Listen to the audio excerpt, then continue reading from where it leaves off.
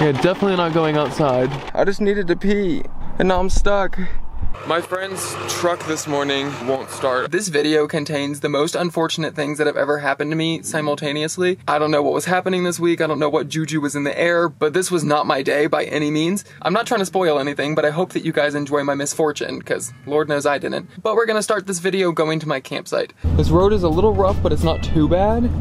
With the rocking back and forth motion, I've already had to go into the back twice to go fix things that have fallen out of my cabinets. Okay, I found a hill that I'm gonna try to go up. It looks very steep, but also there's, it looks like there's a cool campsite up there.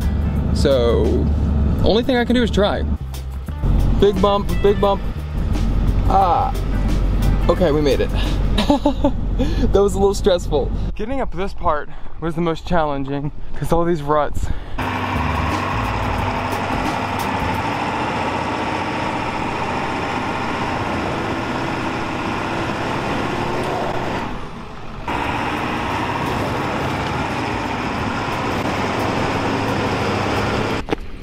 Was a lot harder than I expected, but we got it done. My campsite has an awesome view. I'm a little lopsided, so I'm gonna have to put some blocks under my truck.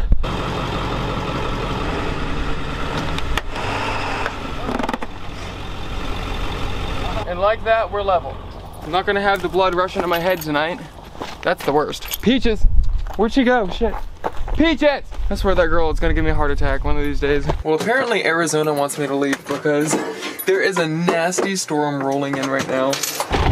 Wow, this shot really shows you guys just how much, oh, that was lightning. Yeah, definitely not going outside for a hot minute. Look, they're all just bouncing off the ground. It's been maybe 10 minutes since I said that there was the hail. We're finally getting some sunlight. I'm excited because my solar needs to be charged, of course. Go figure, that's every video of mine. So right now I'm getting one amp, which is actually quite horrible. Oh my gosh. Look at this, it almost looks like the ice that you get in Chick-fil-A cups, like almost. Wow, that's crazy. I just hiked all the way from down there to get a better view of these mountains, not even realizing what was behind this hill that I'm on. Look at this. Wow. that is so incredibly beautiful. Say hi to grandma and grandpa. Hi.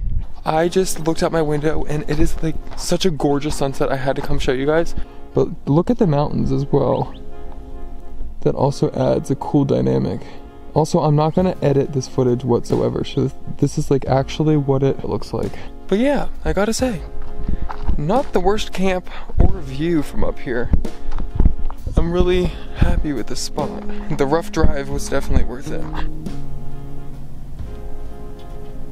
I can't hold the camera still. Hi friends, good morning. It's freaking freezing. I'm sure you could have guessed that. Um, I think it's like in the 30s this morning. I made myself some yummy coffee. Also, another weird thing that happened last night is I do not remember falling asleep at all.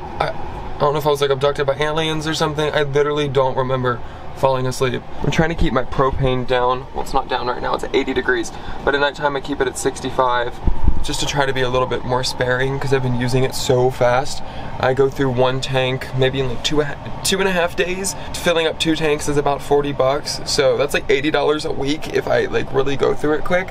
So I'm trying to cut back. I have a propane addiction right now. My friend's truck this morning uh, won't start. I think his battery died because it was cold or I don't know, it just died for some reason.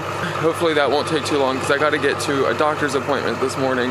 All I know is I can't feel my fingers right now. I've been helping him to start his car. I'm revving my engine to give him a little bit more juice. Come on, you got it. After about half hour, we finally got his truck up and running, so we're gonna head out. Not looking forward to going back down this hill, but it'll be a process. Oh, I'm stressing right now. I feel like every video I do, something horrible happens. I'm driving down the highway, I needed to pee really bad, so I pulled over, and then I got myself stuck. Just, just look at this, it's pretty horrible. Yep, that's me. Just stuck on the side of the fucking highway with my tire completely buried. Also, my steps are just like on the ground. I'm gonna have to unbury myself, like dig it out. You guys might be thinking like, why the hell did you pull off on sand? But I see all these other tire tracks in here, so I'm like, okay, clearly this is a shoulder on the side of the highway people pull over.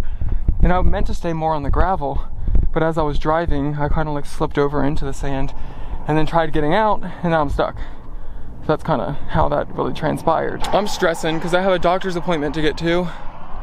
I don't know what I was thinking. It was so stupid. I just needed to pee. That's it. And now I'm stuck. Uh, okay. I'm gonna I'm gonna dig. That's all I can do. I'm stressing. I have a friend coming. I called him. He's gonna try to tow me out. He's a half hour away. But boy, like the whole bottom of my truck and the back is flush with the ground. That makes me scared. My freaking exhaust pipe's right here, like underground. I know everyone that drives by right now is probably like, look at that freaking idiot. Oh, once again, all I needed to do was pee. I'm trying not to freak out. I know it's not that big of an issue if I can get out. But boy, is it hard to try not to freak out when your whole entire home is stuck and can't move. I remember in my last video when something bad happened, someone was like, Ethan, why are you doing all this to yourself as if I do this on purpose? So please don't leave any of those comments. This was not purposeful. Trust me. Here are the tires after I spent a half hour digging them out.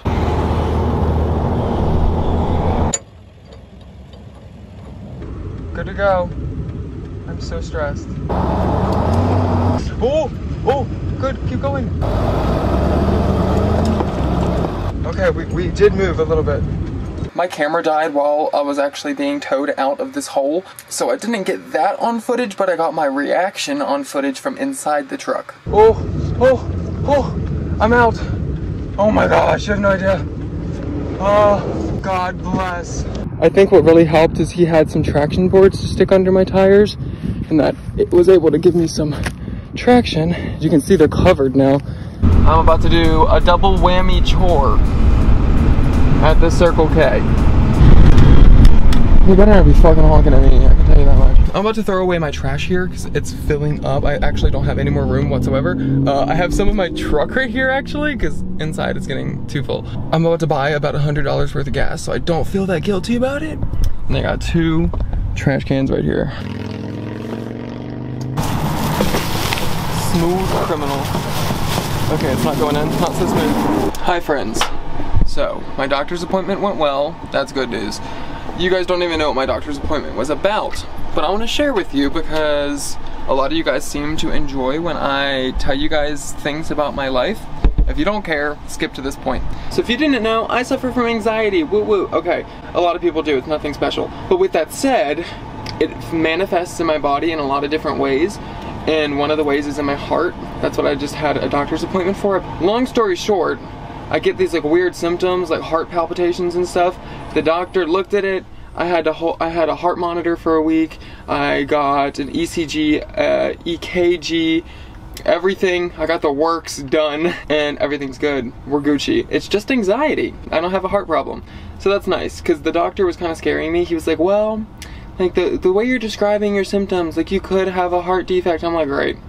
Great, that's the fucking last thing I need right now. But no, no heart defect. Yay. I felt like sharing that with you guys because you guys like whenever I'm kind of raw with you. And then also on top of that, I know just statistically, out of the 70,000 people that subscribe to me, one of you guys deals with this as well. If you got some health anxiety or just anxiety working in general, you're not alone and I'm here with you. Okay, next thing, after being knee deep and fingers deep and wrist deep in dirt, I want to take a shower because digging out my truck earlier was just not a pleasant experience. Good thing I'm at a Planet Fit. Oh, I can't get it.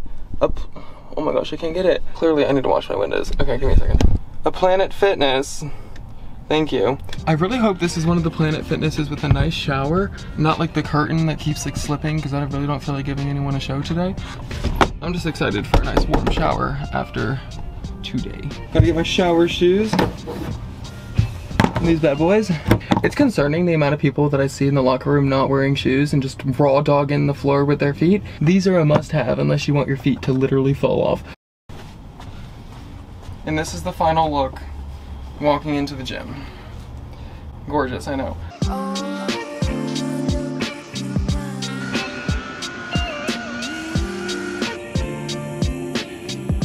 All right, I'm coming up on a campsite that I think should work for tonight, but I'm honestly not completely sure. I'm camping in the city and I'm tired of staying at a Cracker Barrel. I think they're getting tired of me staying there too, because I've been staying at the same one over and over and over. There's a public park here that I saw online apparently allows street parking. And it looks like that's right, because there are a bunch of other campers here. And then look at this park, it's pretty sick. It's for like rock climbing and stuff, so there's just a bunch of big mountains, and then also there's a dog park too for Peaches. So, I mean, it really works perfectly. I get to park, dog park, and then also just cool hiking. This is where I am specifically in the city. So I'm like smack dab in the middle of Phoenix. This is gonna be my home for tonight. It looks like a generally safe area, I'd have to say. These houses, not that you can really judge by the houses, but that looks like a nice house. I don't really know if they want me camping in front of their house, but that's okay. Thankfully, there is a bike lane separating me from the actual road itself. We're also near an airport, apparently. That'd be great for sleeping. It's getting cold and getting dark, as you can see. Doesn't look like we're gonna have much of a cool sunset tonight, but that's fine. Let's check the inside and see if anything's spilled. I see my LED lights turned on, they're blinking. And my dish is on the floor, but that's okay. And my flower was apparently assaulted by my bananas. What the heck? I hardly ever city camp besides at Cracker Barrel, as you guys know.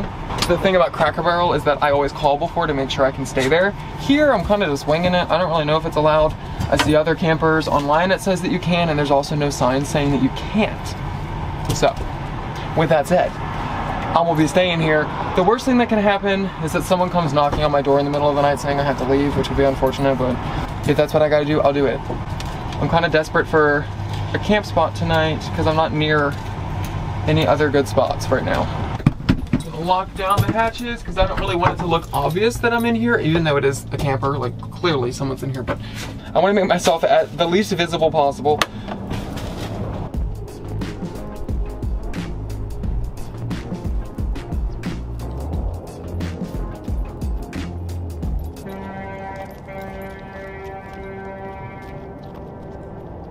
So I popped my head out because I was just watching the airplanes fly by because apparently they come by every three minutes. I'm not kidding. But then I noticed over here in the park, look at how many rabbits, if it'll focus. There you go. Look at how many rabbits. Wait, so there's one, two, three, four, five, right there. And then there's a bunch more in the shade. You really can't see them. But then also in the dog park, there's some. You can see like that little dot right there. That's a rabbit. And then there's another one. There's just a bunch in the dog park as well, which I found really interesting. And then it got me thinking, are they staying here because it's like void of natural predators since it's a park? I don't know. Last night was surprisingly nice. I didn't get told to leave, so that's good. And then also it's quite quiet. I thought being near the road it would be really loud, but it's really not that bad now that I know that this place is here, I'll be staying here more often if I'm in Phoenix. Uh, but also, I'm leaving Phoenix very soon, so kind of sucks that I just found it now. I've been here for three months. What's up? Didn't see you there. This is the end of the video. I don't really know what was going on this day. As I said in the intro, I think there was just some bad juju going on. I'm, I really don't know. But this day was stressful, pretty awful. It had a gorgeous sunset the night before, so I appreciate that, but I don't really know if it makes up for all the other bad things. But you know what? Bad things happen sometimes. It is what it is. And I learned from it. Don't drive into sand. Don't be an idiot. Yay, okay? Valuable lessons learned on my channel. I'm educational. With all that being said, this is the end of the video. If you enjoyed it, please give it a like, comment, and subscribe. Doing all those are free ways that you can help my channel. Like seriously, it's the best way that you can help a YouTuber's channel is by giving likes, comments, and subscribing. I've actually seen a huge uptick in my channel's performance since asking you guys to do this, so thank you guys so much for helping me out. I really appreciate it, and it's free, so thank you. On top of that, if you guys want to check out my other social medias, I have OnlyFans, link in, I can't speak, link for that will be in the description. Cool. I also have Instagram. That link will also be in the description. I post on there almost daily if you want to see my daily life. And then lastly, I just want to say a big thank you to everyone who supports the channel on Patreon. Thank you guys so very much. I greatly appreciate all of your support. Because of you, I'm able to continue making content and show you all of the beautiful places that the world, but mostly the US for now, have to offer. Uh, I do have some cool plans in the future though, so maybe I'll be going to another country. It's in the works, I don't know. And an extra special thank you goes to Gary Fuller, Gregory Dyer, Indigo Going, Robert Swan, Scott Krutz, Brian Butterfield, Michael Posh, Scott Sweaters, and Britt Saunders. But once again, thank you guys so very much. I greatly appreciate all of your support. If you would like to join, all that information is in the description, along with other ways that you can support the channel if you would like. And then lastly, I know I have so many announcements, before I officially go, I want to give a shout out to the Cancer Research Institute. I've been working alongside them for a while now, and by that I just mean kind of shouting them out. We've raised over four grand now at this point, which is insane. I think that this is a great cause to support because they train your immune system to fight cancer at its source, which I think is amazing. Uh, who wants to do all of those terrible drugs if you don't need to? So I just think it's a great cause to support. So if you want to send over $1, $2, 5 bucks, I'll leave that link in the description as well. I, I haven't mentioned this in the past few videos, but I want to mention it every once in a while. The reason I'm shouting this out is because my best best friend Millie passed away due to cancer at the beginning of this year. I get questions about her all the time, people asking if I got rid of her and stuff. No, she passed away, unfortunately, uh, so that's why I am specifically picking a cancer cause, because it hits close to home. But yeah, so if you guys want to support that, I would greatly appreciate it. But I think that that's all that I have to say. Wish me luck editing this video, and yeah. Peace out, I'll see you guys in my next video. Hopefully it is not as traumatizing. Okay, love you, bye. Take care.